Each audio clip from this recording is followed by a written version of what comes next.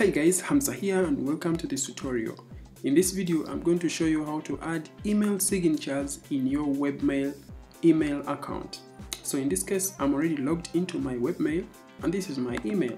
So once I'm in here, all that I have to do is simply to go to settings and then I'm going to come right over here composing messages and I scroll just down here to signature options. Once I'm here then I can select automatically add a signature. I'll select from these options whether always or never or new messages only or replies and forwards only. So I'll say always to all new messages. Then I'll say place signature below the quoted message. Then I would say yes because I want it to be quoted. Right here it says when replying remove original signature from the message. Yes for standard separator in the signature yes. So once this is set up then I will save. Once that is saved we can now go to identities.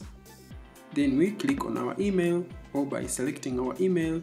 Then we come right down here. So we can add our signature here. So I already created my signature.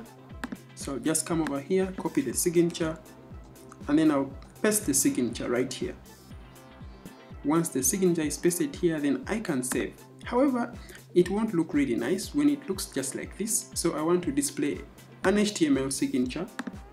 And this is a signature that will display with uh, right formatting color and even a logo. After selecting the HTML signature then right here we can select the font we want to display.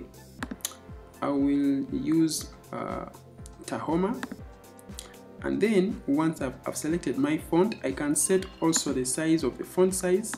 This looks uh, fine for me. Then at the same time I can set a logo for my signature. So by clicking here insert image and then I can insert an image source. And in this case already I have my URL to my image which is the logo. I'll just copy it here and then I will paste it right here and then I'll say okay so now I've already inserted my logo and my contact details in the signature and I'm good to go. So what I have to do is save. Once I save I go back to my email. When I say compose automatically an email signature should show up. Boom. So now the other thing you have to set is that every time you're going to be writing an email you have to choose that it is HTML but we can do that automatically than doing it manually every time here. So how do we do that? We can set that up right here in settings. I'll just discard this. Go to settings. I'll say composing messages and then I'll say compose HTML messages. Then here you have to select always. Now go back to my email.